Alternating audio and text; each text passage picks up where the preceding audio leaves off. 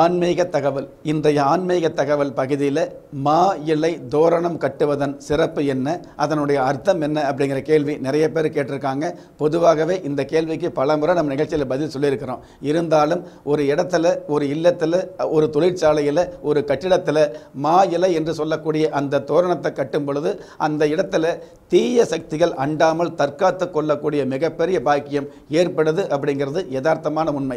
எந்த ஒரு இல்லத்தில் வாசல் படியில் அதாவது நிலவு வாசலில் வந்து இந்த மாதிரியான நிலை வாசலில் மா இலை தோரணம் கட்டி வைக்கிறோமோ அந்த இடத்துல வெளியில் இருக்கக்கூடிய அஷ்ட சக்திகளோ அல்லது திஷ்டி சம்பந்தப்பட்ட தீய சக்திகளோ உங்களுடைய வீட்டுக்குள் இல்லத்திற்குள் நுழையாத வண்ணம் தற்காத்து கொள்ளக்கூடிய மிகப்பெரிய அமைப்பு மா இலை தோரணத்திற்கு உண்டான மிகப்பெரிய சிறப்பு.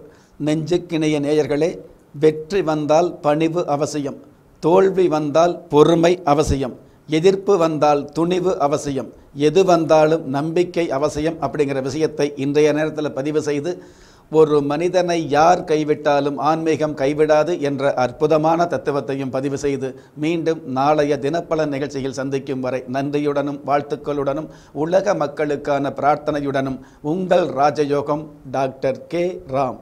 நெஞ்சுக்கிணைய நேயர்களே விட்டு கொடுத்தவர் வீழ்ந்ததில்லை தட்டி பறித்தவர் வாழ்ந்ததும் இல்லை என்ற தத்துவத்தை எடுத்துச் சொல்லி ஒரு மனிதனை யார் கைவிட்டாலும் ஆன்மீகம் கைவிடாது என்ற அற்புதமான ஆன்மீகத்தையும் பதிவு செய்து மீண்டும் நாளைய தினப்பலன் நிகழ்ச்சியில் சந்திக்கும் வரை நன்றியுடனும் வாழ்த்துக்களுடனும் உலக மக்களுக்கான பிரார்த்தனையுடனும் உங்கள் ராஜயோகம் டாக்டர் கே. ராம்.